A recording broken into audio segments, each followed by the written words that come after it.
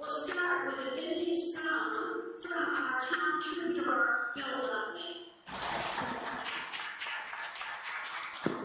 Good afternoon. Um, the song I'm going to uh, play is a song called Daughters of Freedom, The Ballot. The words were written by uh, a lyricist named George Cooper, um, and the music was written by Edwin Christie. Songs